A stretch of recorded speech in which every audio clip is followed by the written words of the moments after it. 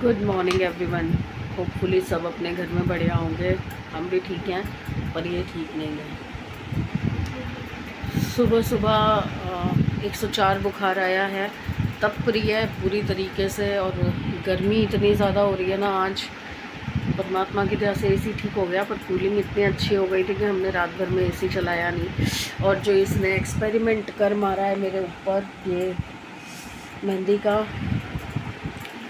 अपने दिमाग से कि मैं बाहर वाली एक कीप अपनी कीप में मिक्स करके लगाती हूँ, आपके रंग आ जाएगा। और रंग के चक्कर में पूरे में एलर्जी हो गई है।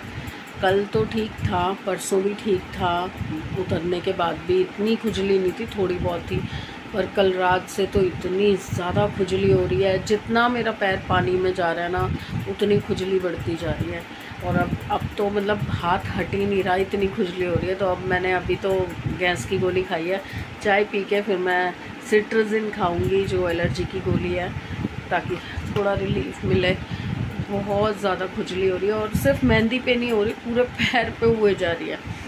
तो बस अब इसको चाय वाय पिला के दवाई देती हूँ, बुखार देखती हूँ कितना उतरता है, क्योंकि कल से बुखार बिल्कुल उतरा ही नहीं है 101 से नीचे गया ही नहीं है।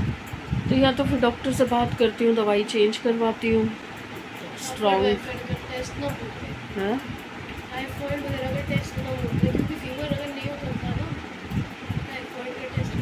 तुझे हो जाएगा, है ना? तुम्हें तुम्हें वैसे भी छोटे में काम नहीं चलता ना, तुम लोगों की सोच तो बहुत बढ़िया, चाहे छींक आ जाए तो तुम्हें लगता है साइनस का अटैक आ गया। चुप हो जा। चलिए, दवाई देते हैं इसको, फिर देखते हैं क्या होता है। बड़ी मुश्किल से रात से कुछ नहीं खाया हुआ इवन कल दिन से इसने कुछ नहीं खाया हुआ। एक रोटी इसने मेरे से मांगी है। कोई आया है? जाओ देख के आती हूँ। अरबी बनाई है मैंने अरबी के साथ कह रही फटाफट से एक रोटी दे दो। पार्सल आया है। ये तो हालत देखो इसकी कैसी हो रखी है। हाँ, डब्बे हैं। सही होंगे कि नहीं होंगे? चलिए खोलते हैं अंदर चल के। दिया जो हालत है ना, इसकी मेरे को लग नहीं रहा सबूते आए होंगे। क्योंकि प्लास्टिक के हैं, वैसे हैं तो एयर टाइट वाले। अगर वही है, मैंने तो और कोई ऑर्डर किया नहीं। खाना, अरबी, रोटी और ये पापा लाए छोले और मरीजों का खाना। रोटी खाई नहीं जा रही। इसलिए मरीज़ खा रहे हैं फ्रूट, जो कि वो भी नहीं खाए जा रहे हैं इनसे। तो मैंने क्या किया है, मैंने नमक में काट के रखे हैं और उसके बाद मैं इनको ड्रेन करके ले आई हूँ, ताकि ये आराम से खाए, कोई जल्दी नहीं है। काले भी नहीं पड़ेंगे एप्पल, और बब्बू गोशा तो वैसे ही बहुत मीठा होता है तो वो तो काला वैसे ही नहीं पड़ता। और वो जो लड़का है ना, वो जो वहाँ बैठा है, अगर आपको दिख रहा हो, ये जो है, इसने इतना दुखी कर रखा है। और ये है, और प्रॉब्लम वो कर रहा है क्योंकि वो खाना पीना छोड़ के बैठा हुआ है। अब मेरी हालत देखो, मेरे को भी लूज़ मोशन लगे मैं बहुत ज़्यादा वाले। अभी खाना बनाते बनाते मेरे को भागना पड़ा और पूरा नहाना पड़ा। इतनी बुरी हालत हो गई मेरी। अब बस ये नाश्ता करती हूँ और फटाफट से टैबलेट लेती हूँ जो मेरी एज़ यूजल हमेशा पास में होती है। तो वो खाली पेट नहीं ले सकती तो इसलिए मुझे खाना खाना पड़ रहा है। उल्टी ना करियो बेटा, आराम से खा, आराम से चबा चबा के छोटे छोटे बाइट लेके खा।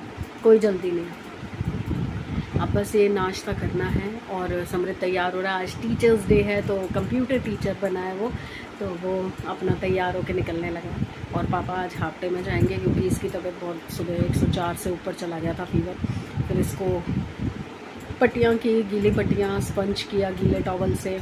तो वो कहने लगे कि फिर मैं रुक जाता हूँ कि अगर कोई इमरजेंसी हो तो इंजेक्शन वगैरह के लिए या हॉस्पिटल लेके जाना पड़े तो घर पे रहें। अब वो हाफ़ डे में जाएँगे काफ़ी बेटर है। फीवर उतर रहा है, चढ़ रहा है, उतर रहा है, चढ़ रहा है। बस वही है टैबलेट का जब तक असर रहता है। आराम से आराम से पानी देती हूँ, रुक जाओ।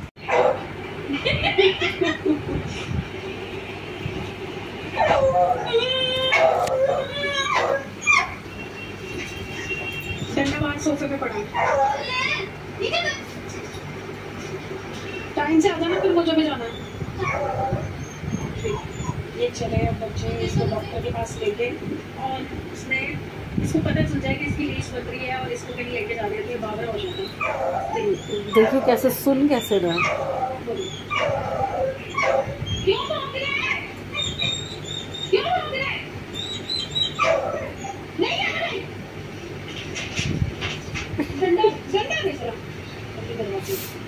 नहीं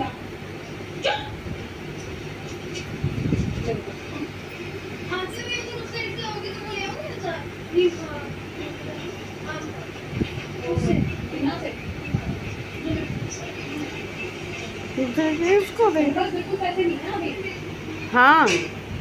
कौन है टीवी में? टीवी में कौन है?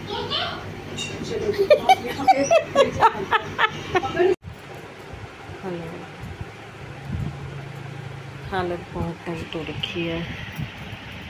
इसका फीवर 104 क्रॉस कर गया था, मैंने आपको बताया। उसके बाद बड़ी मुश्किल से उतरा है। अभी अभी दवाई जब चेंज करके इसको दी थी कॉल कॉल से तो फ़र्क ही नहीं पड़ रहा था तो क्रोसिन क्रोसिन भी है। उससे फीवर उतरा है बट अभी भी एक सौ सौ के आसपास है। मेरी हालत बहुत बुरी तरह से बिगड़ी हुई है लूज मोशंस बहुत ज़्यादा हो रहे हैं। बिल्कुल पानी की तरह बहे जा रहा है मेरा, और दवाई लेने के बाद भी कोई फ़र्क नहीं पड़ा। और थोड़ी देर से पेट में दर्द भी शुरू हो गया। बड़ी मुश्किल से हम दोनों सोए थे। नींद टूटी विनीता आई थी तो काम करवाना भी ज़रूरी था क्योंकि अब तो मेरे बस का भी नहीं काम करना। बहुत हालत ख़राब हो रही है दोनों की और वो बच्चा जो है, वो भी नीचे पड़ा। उसकी भी तबीयत ठीक नहीं है, वो भी हिल नहीं रहा, सुबह से ऐसे ही पड़ा हुआ है। और घर में कोई भी नहीं है। पानी पीने के लिए भी कोई नहीं है। मैं अभी जाके दो बोतल भर के लाई हूँ अपने लिए और दिया के लिए गर्म पानी। तब सारे काम करके आई थी, बट पेट में बहुत तेज़ दर्द हो रहा है, बहुत तेज़।